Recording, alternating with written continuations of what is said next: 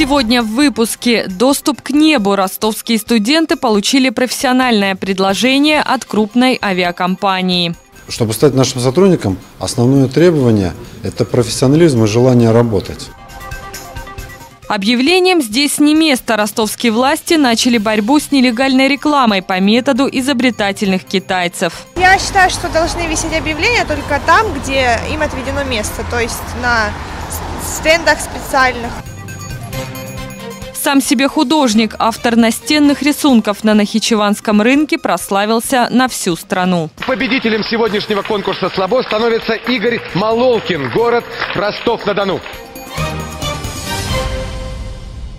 Через Ростов пройдет новая железнодорожная магистраль Москва-Адлер. Из полутора тысяч километров путей более 300 протянутся по территории Донского региона. Передвижной состав сможет развивать скорость свыше 200 км в час. Это позволит в разы уменьшить время поездки. К примеру, из столицы до конечной станции путешественники доберутся всего за 8 часов. Для сравнения, сегодня, чтобы преодолеть то же расстояние, в среднем требуется 27 часов. Первый вице-президент российских железных дорог Александр Мишарин призвал всех участников проекта начать процесс резервирования земель, необходимых под магистраль. Губернатор Ростовской области Василий Голубев отметил, некоторые участки находятся в собственности у частных лиц, поэтому вести работу в этом направлении нужно корректно и строго по закону. Некоторые вопросы ускорения реализации проекта зависят от действий на региональном уровне. Как показывает практика, решение вопросов по земле занимает много времени, поэтому нужно немного опережать события. Эксперты прогнозируют, после запуска новой магистрали экономический рост всех отраслей области увеличится на 5%. Это повысит инвестиционную привлекательность региона. Возможностей попасть в большую авиацию молодых специалистов станет больше. Как выпускникам вузов получить доступ к небу, обсуждают руководители Донавиа и Донского технического университета. Поспособствует трудоустройству новоиспеченных инженеров строительство аэропорта вблизи Ростова. Южный хаб сможет принимать намного больше рейсов, а значит и штат сотрудников авиакомпании будет расти. Впрочем, уже сейчас у многих работников компании на руках диплома ДГТУ, отметил гендиректор Донавиа. Чтобы стать нашим сотрудником, основное требование – это профессионализм и желание работать.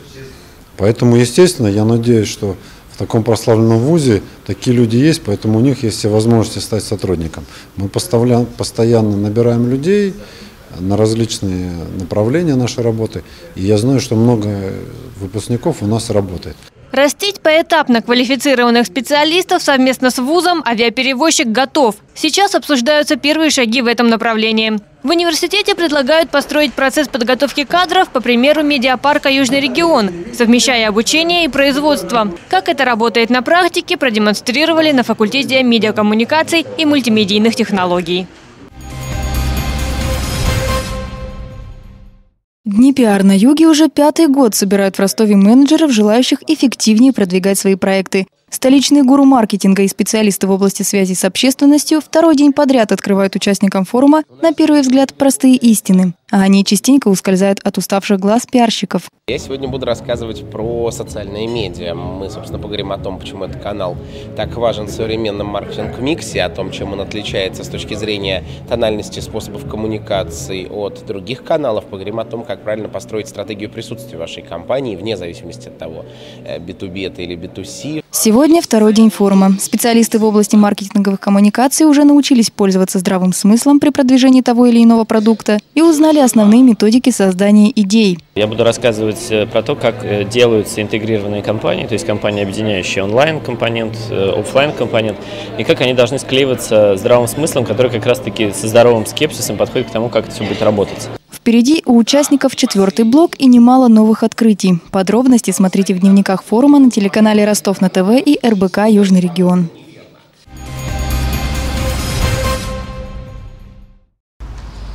Беспорядочно расклеенные объявления портят облик Ростова, пришли к выводу власти города и придумали еще один способ борьбы за порядок. А точнее, позаимствовали технологию у китайцев. Теперь за очистку столбов, витрин и фасадов зданий взялись работники специального центра. Они ставят телефоны, указанные в объявлениях, на беспрерывный автодозвон. Номер нарушителя блокируется на период от нескольких минут до нескольких суток Впервые такой способ опробировали в 2003 году в Пекине. Результат превзошел все ожидания. Впоследствии китайский метод взяли на вооружение и европейские города. В России эту систему использовали в Курске. Эффективность составила 96%.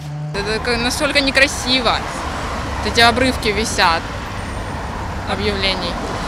Я, я считаю, что должны висеть объявления только там, где им отведено место, то есть на стендах специальных. Какие-то трибуны, чтобы туда вешали объявления, а не развешивали на зданиях, на остановках. Запретить, наверное, выдать какой-нибудь закон, который запрещает клеить объявления хотя бы на столбах. Или сделать больше мест, где можно развешивать объявления.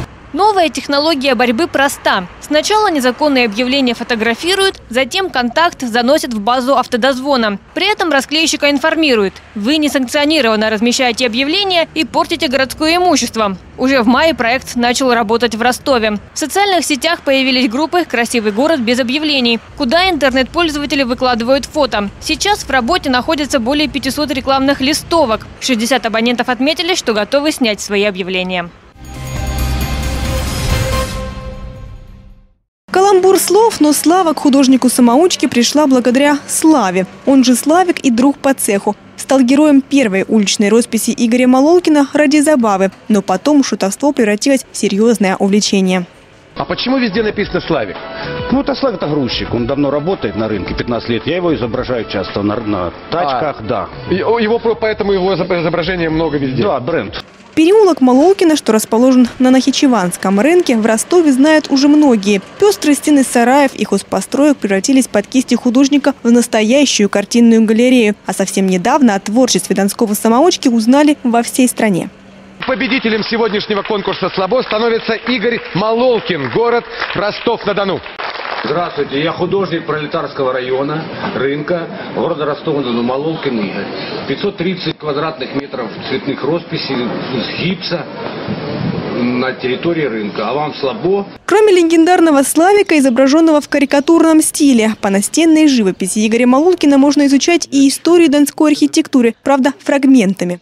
Это Нахичеванский рынок 19 век. То есть 200 лет рынку, это все с фото, с фото, старинных фото это был вход в рынок начала 20 века, на Чешеванский рынок. Вот мясной павильон, он и сейчас стоит, вот он у нас. Впрочем, главные герои «Железных холстов» – это коллеги на фоне местных пейзажев. Другие художественные истории просто не заинтересовали бы местных, признается Малолкин. Они-то и есть главные ценители его искусства. Неразделенная любовь. Он в Ростов не хочет переезжать, торговать зеленью. И вот он в селе такой казак, красивый, молодой ведь казак. И вот она осталась 52-летняя казачка, разведенная вдовушка. И он сватается. Такой драматический. А это уже местная антикварная лавка. Заметив успех уличных работ мастера, хозяин рискнул и доверился экспромтному вдохновлению художника. Теперь это здание занимает второе почетное место на рынке по популярности. Бесподобно вообще-то великолепные барельефы, даже люди останавливаются и фотографируются с этими барельефами.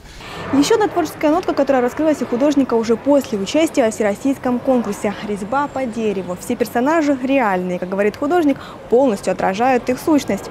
А это уже икебаны на холстах. Главное в них – это донская тематика. И это еще не все воплощенные идеи, признается художник. Совсем скоро о своем творчестве Малолкин собирается заявить на всю Европу. Как? Секрета не раскрывает, чтобы не спугнуть удачу.